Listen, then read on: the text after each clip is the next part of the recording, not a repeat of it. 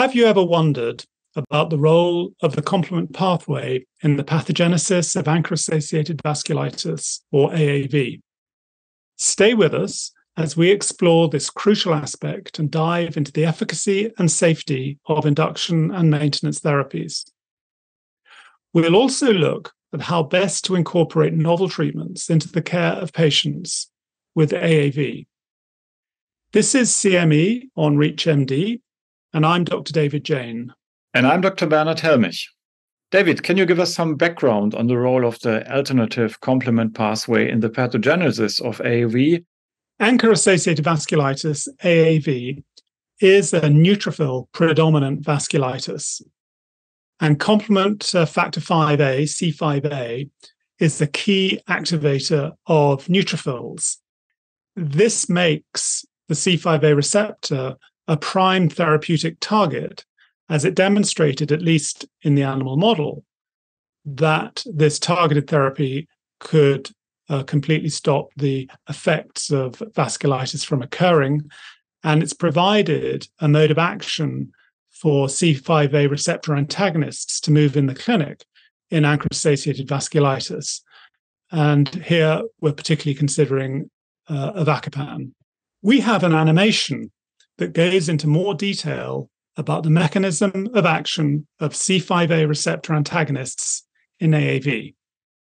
Let's take a look.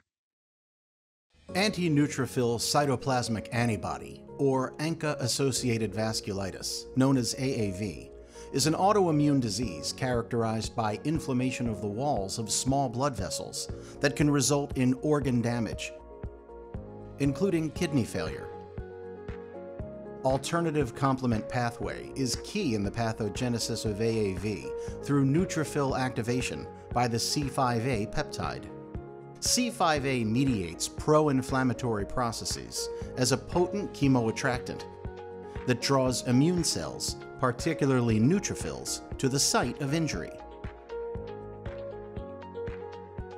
C5a binds to C5a receptors, or C5aR, on neutrophils. This primes the neutrophils for activation by ANCA.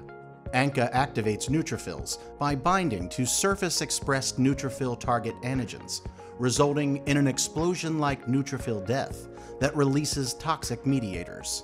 This reaction amplifies the inflammation and damages both blood vessels and the organs they supply. Additionally, the activated neutrophils produce neutrophil extracellular traps, or NETs, which induce further C5a production. Avacopan, an oral C5a receptor antagonist, inhibits the interaction between the C5a and the C5a receptor, preventing C5a-mediated neutrophil activation and migration, which are the crucial steps in vascular endothelium destruction. In this way, avacopan works to reduce inflammation and damage to small blood vessels in patients with AAV it has clearly demonstrated that C5a inhibition is directly relevant to the pathogenesis of ANCA associated vasculitis and the positive feedback loop whereby C5a activates neutrophils, the neutrophil activation releases neutrophil nets and microparticles, as well as many other substances that contribute to vasculitis occurring on the endothelial surface. But of particular importance, the neutrophil nets and microparticles themselves contain complement convertase capable of splitting C5 and indeed C3 into further complement fragments, further C5a, thus driving more neutrophil attraction and more neutrophil activation. And so the inflammatory uh, response is maintained.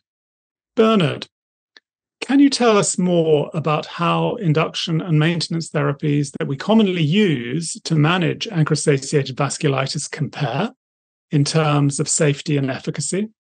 Yeah, the recent guidelines from the ACR and EULAR tell us that rituximab in combination with high dose glucocorticoids are the cornerstone for induction treatment of ANCA associated vasculitis in patients with new onset disease and organ or life threatening manifestations, you may consider cyclophosphamide as an alternative to rituximab, while in patients without organ or life threatening disease, you may consider methotrexate as a, a agent of second choice. Usually, glucocorticoids are given at uh, high doses um, of 50 to 75 milligrams per day, starting dose, sometimes even higher doses. And then uh, subsequently, the glucocorticoids are tapered. And we have learned from the past that glucocorticoids are the main driver of infections in patients with active AAV. And infections are the main cause of mortality within the first year of treatment. So attempts have been made to reduce glucocorticoid exposure in these patients. And current recommendations tell us to taper glucocorticoids to a target dose of five milligrams after four to five months of treatment. And studies have shown that this is working as well as a slower taper and reduces the risk of infections. As an alternative to high dose glucocorticoids, the new EULAR recommendations recommend the use of avacopan instead of glucocorticoids for induction of remission. Once the uh, patient gets into remission, we usually continue rituximab for a period of 24 to 48 months, then at a lower dose of 500 milligrams every six months. And after this time period, uh, the patient is evaluated for risk factors for further relapses. And then it's a point for shared decision making to discuss with the patient if the treatment is continued beyond these 48 months based on these risk factors. If the patient is relapsing, he gets another course of induction treatment. David, based on these uh, recent clinical trials we have seen, what opportunities do we have to optimize treatment for our patients to achieve better outcomes? The Advocate trial demonstrated that when avacopan was compared to a steroid or prednisolone tapering regimen, there was uh, equal efficacy at six months, in fact, superior efficacy at 12 months, but there was much reduced steroid use.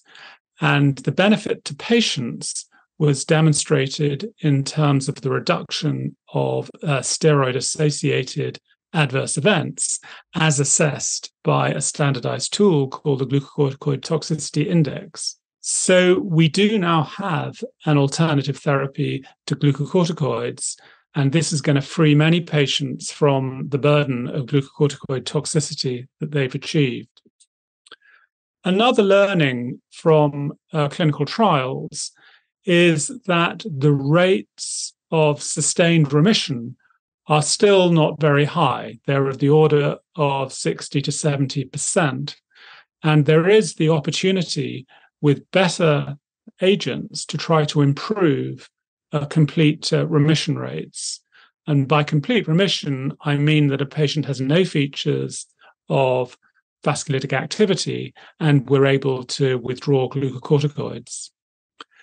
Now, the Advocate trial demonstrated an improvement in sustained remission rates by about 12% when compared to the prednisone taper group assessed at 12 months. So, this is a useful improvement in complete response rates. A surprising result from the Advocate trial was a more rapid recovery and a higher recovery of quality of life in the patients who received avacopan as compared to those who received the prednisolone taper. A further result of note from the advocate trial was the effect on the kidney, where approximately 80% of the patients being recruited had evidence of kidney disease, as is typical in an AAV population. And those patients who received avacopan showed more rapid falls in proteinuria and a greater increase or recovery in kidney function as measured by glomerular filtration rate than the control group given the prednisolone taper. So when comparing C5a receptor inhibitors such as avacopan to prednisone, we have a number of factors to consider. That is the increased efficacy in terms of sustained remission, the reduction of requirement for steroids, so an improved safety benefit, the kidney improvement and the improvement in quality of life. Bernard, how do you make sure that you are selecting the right therapy for the right patient? Yeah, David, it's very important to assess your patient not only for disease activity and damage caused by the disease or its treatment, but also for comorbidities. Long term complications of glucocorticoids include osteoporosis, skin abnormalities, fractures resulting from osteoporosis, hormone problems, and um, of course, infections. And there are also acute complications which cause problems in the early phase of treatment with glucocorticoids. These include uh, deterioration of an existing diabetes uh, and, of course, infections. So it really depends on uh, how to select the ideal candidate for glucocorticoid uh, uh, therapy or the alternative, uh, which is avacopan. So for treatment with avacopan, patients who already have glucocorticoid related toxicity or who are at risk to develop these complications, they are the ideal candidates for first line treatment with avacopan of course, always in combination with another agent like rituximab. Finally, patients may also be candidates for um, avacopan therapy who have not adequately responded to um, a standard of care treatment. I think that's a great uh, summary uh, highlighting those patients who are particularly likely to benefit from a C5a receptor inhibitor, such as avacopan, namely those high risk of steroid toxicity, those with low GFR, and those with refractory disease. And I think avacopan can be considered, as you say, for all patients as a component of induction therapy. And uh, the patient voice is important in, in the eventual decision as to which treatment they should be received. Well, this has been a fantastic conversation. But before we wrap up, Bernard, can you share your one take home message with our audience? We have new opportunities to spare glucocorticoids, uh, which may help the patient to improve his quality of life and to reduce glucocorticoid associated side effects and improve organ function like kidney function. Thank you. I think my take home message is, is we have a new treatment for ANCA vasculitis, and we're really quite restricted in the number of drugs that we have available to treat patients. And a new treatment provides options, and that will improve the quality of care that patients receive. That's all the time we have today. So I want to thank our audience for listening in. And I would like to thank you, Dr. Bernard Hellmich, for joining me and for sharing all of your valuable insights. It was great speaking with you today. Thank you, David, and goodbye.